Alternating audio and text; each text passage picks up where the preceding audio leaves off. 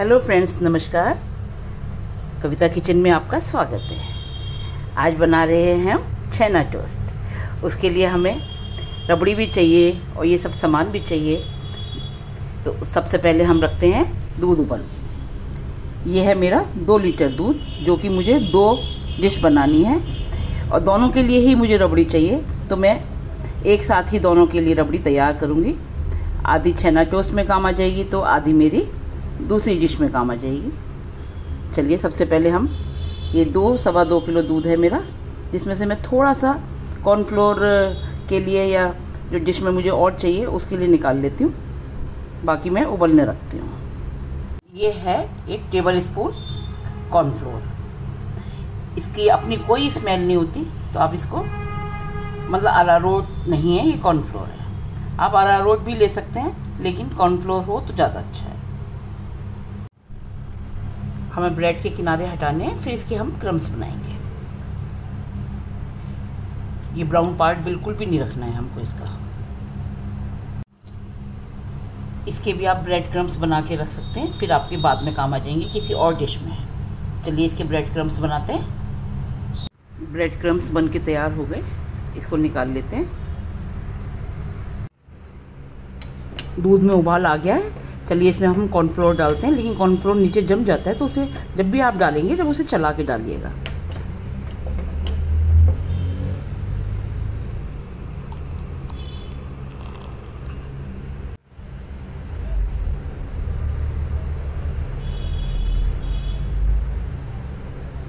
ये मेरी दो डिश की है तो इसलिए थोड़े से ज़्यादा डलेंगे मेरे। ये रबड़ी बन रही है मेरी, दो किलो दूध की है। केसर के धागे भी तो फिर थोड़े ज़्यादा ही डालने पड़ेंगे। कॉर्नफ्लोर बहुत ज़्यादा नहीं डालना है। मैंने एक टेबल स्पून डाला है, बस। चलिए, अब इसे पकने देते हैं। इसे काफ़ी गाढ़ा करना है। आपके पास कॉर्नफ्लोर नहीं है तो कोई बात नहीं। थोड़ा सा दूध को बढ़ा लीजिएगा। थोड़े दूध ज़्यादा देर तक उबाल लीजिएगा। इसकी रबड़ी हमें बहुत ज़्यादा गाढ़ी भी नहीं चाहिए होती है। थोड़ी पतली ही चाहिए होती है छेना टोस्ट के लिए। पनीर को मैंने ग्रेट कर लिया है। अब बनाते हैं हम इसका ब्रेटर जो हमने क्रम्स बनाए हैं। चलिए हम कढ़ाई रखते हैं गैस पे। कढ़ाई में बिल्कुल एक चम्मच देसी घी डालेंगे, ज़्यादा बिल्कुल भी ज़्यादा नहीं, घी बिल्कुल ज़्यादा नहीं। हमें सूजी भी बिल्कुल एक टेबल स्पून है, जो हमें सूजी ब्राउन भी नहीं करनी है, बिल्कुल भी। हल्की सी बस कच्चापन निकल जाए इसका।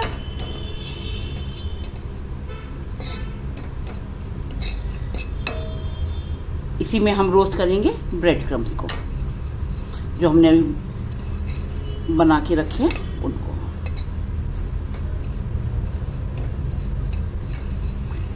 घी बिल्कुल भी ज़्यादा नहीं, हमें इसमें ज़्यादा घी का इस्तेमाल नहीं करना है।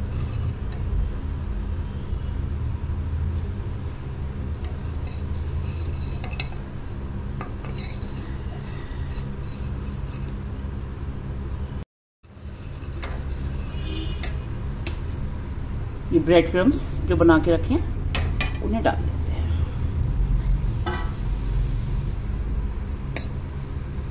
इनको भी बहुत तेज रोस्ट नहीं करने ये देखिए, इससे ज़्यादा हमको इसको बिल्कुल भी कलर नहीं चेंज करना है, जो हमने दूध निकाल के रखा था हम अब इसको दूध को डालेंगे।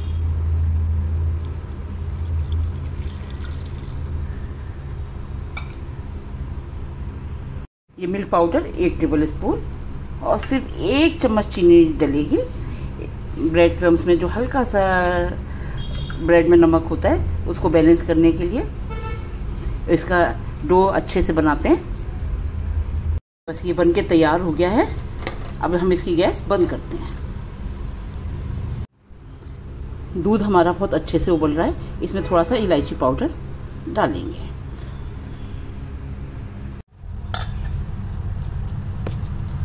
इन दोनों को भी अच्छे से मैश करके थोड़ा इलायची पाउडर डाल दिया है। आपके पास ड्रॉप्स हो तो ड्रॉप भी डाल सकते हैं आप। काफ़ी अच्छा फ्लेवर आता है इलायची का। छेना टोस्ट की रबड़ी मेरी तैयार हो गई है। अभी तो रख के भी गाड़ी होएगी। और अभी चल ही रहा है, क्योंकि मेरा दूध तो काफ़ी था। मैं दो डिश की रबड़ी तैयार कर रही हूँ। हम्म। तो आधी अलग कर लूँगी, फिर आधी अलग कर लूँगी। छेना टोस्ट के लिए तो मुझे सब मिला के एक किलो दूध का ही चाहिए और ये है दो ढाई किलो दूध की तो इसको आधे को हम अलग कर लेते हैं। लेकिन चलिए, मेवा तो हम सभी में डाल सकते हैं।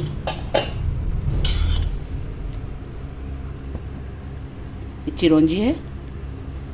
ये आठ दस बादाम है जो मैंने बारीक काट लिए। दस पंद्रह पिस्ते हैं जो मैंने बारीक काट लिए हैं। और पंद्रह बीस ये काजू हैं। जो मैंने हल्के से दरदरे कर लिए हैं।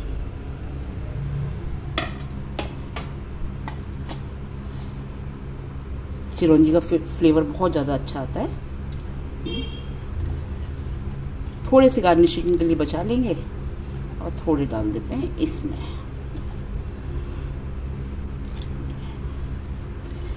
थोड़ा सा डेसिकेटेड कोकोनट भी डाल सकते हैं। चलिए डाल ही देते हैं। दो बड़े चम्मच डेसिकेटेड कोकोनट अच्छा फ्लेवर आएगा इसका भी। इसमें चीनी मेरी कम से कम 100 ग्राम डलेगी। एक छोटी कटोरी है, ये डालते हैं। चीनी के बाद भी इसे पाँच मिनट अभी पकने देंगे। चीनी डाल के तो वैसे भी थोड़ा पतला हो जाता है।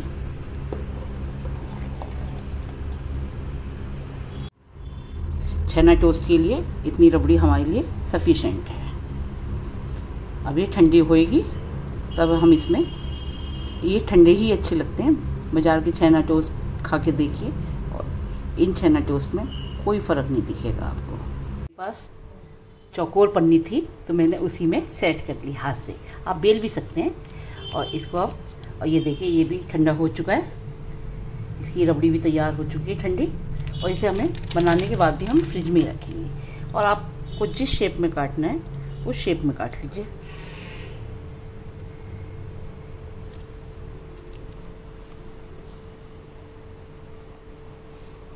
थोड़ा सा थिक रखते हैं। इसको देखिए, इस तरह से ना ब्रेड की तरह से। बहुत ज़्यादा पतला नहीं करते।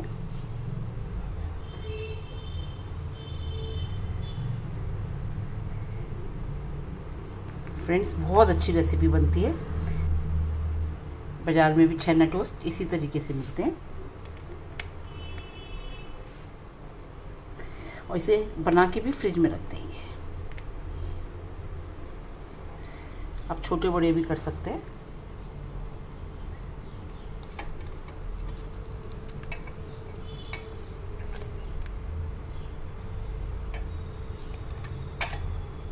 अब ये देखिए सिर्फ़ पचास ग्राम पनीर था बाज़ार का जिससे हमने इतने सारे छेना टोस्ट बना लिए। भाई बाकी तो घर का दूध था। हम्म, घर का घर की चीज़ तो ऐसी लगती है जैसे फ्री बनाओ बरकत बहुत ज़्यादा होती है घर की।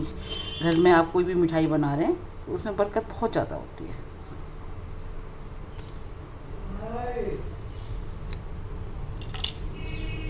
इसमें डाल के थोड़ी देर से फ्रिज में रख देंगे। फिर सर्व करेंगे। ये लीजिए फ्रेंड्स छेना टोस्ट बन के तैयार हैं सर्व करने के लिए। ठंडे ठंडे खाइए और खिलाइए।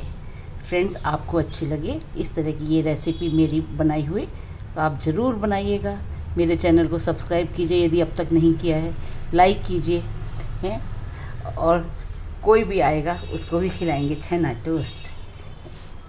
और बनाइए और देखिए कि बाज़ार के छेना टोस्ट और आपके छेना टोस्ट में क्या फ़र्क है।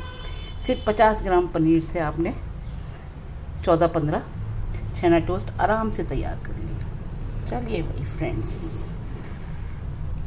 अगली रेसिपी तक के लिए बाय बाय मेरे चैनल को सब्सक्राइब कीजिए लाइक कीजिए और मुझे मोटिवेट कीजिए जो मैं आपके लिए अगली नई मिठाई बना सकूँ, अगली रेसिपी आपके संग शेयर कर सकती सकती हूँ आराम से।